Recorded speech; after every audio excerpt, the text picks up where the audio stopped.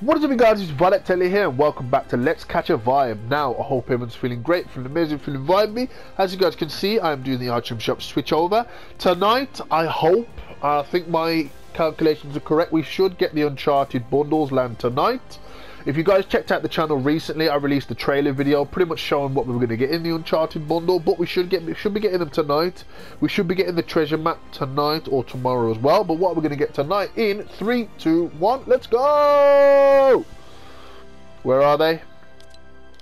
Oh, there they are. Let's go. Oh, let's go. So, let's jump straight in and let's check out the Uncharted bundle. So, jumping straight in we have Nathan Drake, unparalleled adventurer with a nose for treasure and purse, uh, sorry, Perchant for trouble. Cheese, part of the Uncharted set. Now, it does come with the movie and game version. So obviously, this is Tom Holland from the movie version. And then we have the game version of Uncharted 4, Thief's End Drake which is pretty damn cool because I was actually hoping that they were going to release both versions and they didn't disappoint. Jeez! I don't know which one I want to use more. They look absolutely both look badass. Moving us on to Chloe Frazer, infamous thief for hire. Better watch your back, cowboy. Jeez! Again, we have pretty much the film version. We have the no jacket film version, and then we have the game version, which is the Uncharted: The Lost Legacy version of Chloe Frazer. Because if you guys didn't know, Uncharted did a spin-off game with Chloe and oh, I can't remember what the other girl's name was. What's the black girl's name from number four? I can't remember. But yeah, I play. I know I played it. Um, I think I've still got it. But yeah, the Uncharted Lost Legacy was a brilliant game. It was nice to play with female protagonists. Anyway, moving on to the bat bling, we've got Chloe's pack. Who knows how much loot she could have stashed in there? Jeez. If you guys know, have seen the Uncharted movie, you'll know what this kind of bat backpack has. Uh, you'll know what this backpack has in it, which is pretty damn cool. Again, I'm sorry about the textures sometimes. Moving us on to the Parashuram, the par yeah, the Parashuram axe. Careful, it's even sharper than it looks. Jeez, the Parashuram axe. Jeez. We have another harvesting tool. We have the second-hand saber. If the blade doesn't finish your opponent, the tetanus will. I mean, yeah, pretty much a rusted sword. If you get tetanus, you're pretty much finished. Moving us on to an emote, which I didn't know was coming. The updated journal. Let him just, right, let me just jot this down. Jeez, uh, oh, that is cool. I like that. Is this worth it, guys? 100% this is worth it. I mean, you get two styles for Drake, you get three styles for Chloe, 100% worth it. 2,500 V-Bucks and you get six items. Mwah, 10 out of 10 gets my seal of approval. Is is it or is it not worth it? So, anyway, as we move away from the featured store, we have the return of the featured store. To show us off, we have the Trespasser Elite skin return. Infiltrate, Dominate, and Terminate. First introduced in Chapter 2, Season 7. Two styles. We have the default here, and then we have like the second alternate, which is pretty much, it has him opened up, and pretty much he's powered by a giant cube, which I think is pretty damn cool. But anyway, moving away from that, we have the return of the Hush bundle. Now, I can't remember whether I did or is it is it not worth it on this bundle. But without further ado, let's jump straight in and check it out, just in case I didn't do one. And if I did, then I'll do one after the item shop.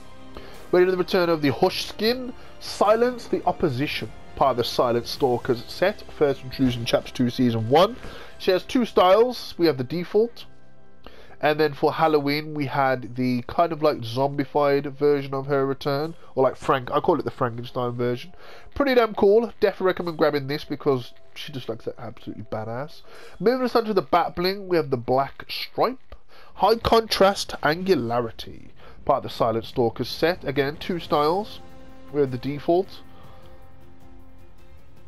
And then we have the alternate, suiting the second skin, style, skin style very well. Moving us on to the harvesting tools now. We have the Silent Strike, Whisper Quiet, Razor Sharp. Again, we have two styles, looking pretty damn cool. We have the default, And then we have the alternate here looking pretty damn cool. This looks even better because it looks like they glow or they've got like a neon to it. Moving us on to the last part of the... Um, uh, well, moving on to the last item in the bundle, we have the weathered black wrap. Not animated or reactive, but I think suits the skin really well with like a weathered black look. Again, looking really badass. Definitely recommend grabbing, guys. Even you, even if you aren't a big fan of the wrap, I definitely recommend just grabbing the skin because the skin is awesome. Anyway, moving us on to the rest of the featured store, we have the return of another bundle, the Street Shadows bundle. Pretty damn cool. Starting us off, we have the Ruby Shadows. So that sometimes you gotta go dark. Pretty damn cool. Bit of a nice little spin on the OG Ruby skin, which is instead of being red and white, this is black and white. Uh, also, this was exclusive to PS5 for a long time, and then it came to us um, recently enough. Sometimes you got to go dark, part of the Street Shadow set, first introduced in Chapter 2, Season 5, and can I just say, we like those, baby! Because she's got those cheeks. Now, moving us swiftly on to the Bat Bling, we have the Blackout Bag. They'll never know what's up. Looking pretty damn cool. Also love the fact that we have the headphones there, and we have a little knife on the right hand side. Love this bat bling. Moving us on to the harvesting tool, we have the shadow slicer. Not even in the darkness is safe. Not even not even the darkness is safe. Moving us on to the glider, we have the sky shadow. Shadow style signature stripe glider. I think this is what they call a paraglider, I think. But anyway, pretty damn cool. Love the fact it's got like a bit of a wind contrail. Moving us away from this bundle, we have the return of the Spire Immortal skin. The Spire's Final Nightmare, part of the Looming Spire set, first, first introduced in Chapter 2, Season 6. Absolutely amazing. I love that his face looks kind of inspired by Spawn, if you guys know who Spawn is. Absolutely amazing skin. I would have loved him to be in the Battle Pass with the Spire um, Queen as well, which is pretty damn cool. Moving on to his bat bling, we have the Spire's Touch. Dark magic always leaves its mark.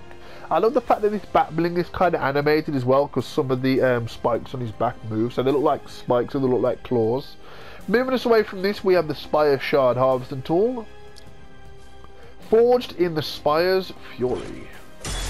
Again, looking pretty damn badass. I love the fact that it's got like an animation so it looks like it's moving as well. Moving away from this, we have the return of the Arachne skins.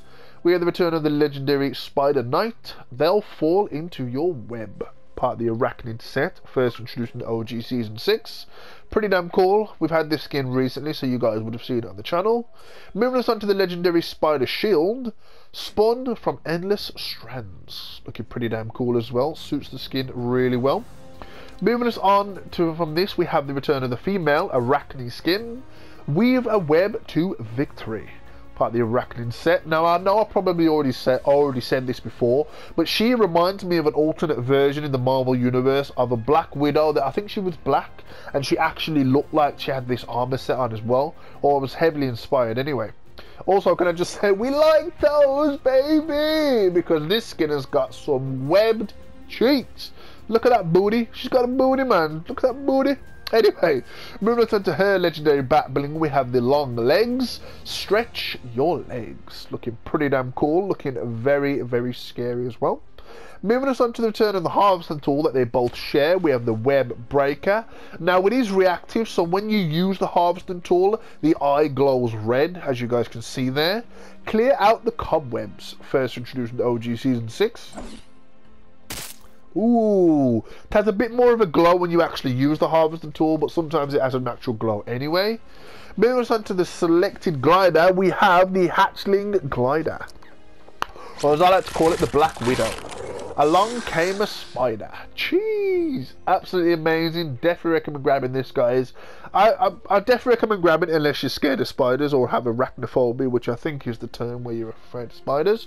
But anyway, moving us on to the daily store. We've gone through a lot of stuff already. Moving us on to the return of the Mariana skin, joining us in the daily store. Champion of the Ocean's Light part of the Sea Glow set, first introduced in Chapter 2, Season 3. Looking absolutely amazing. Now, the skin is reactive and it reacts to eliminations and loot. So when you open chests, the skin will light up, which I think is a really cool touch. And I really like when skins have that little bit of an extra flair to them. Moving us on to the Bat Bling, we have the Moon Jelly. It's cute, but don't touch the tentacles. Definitely don't touch the tentacles.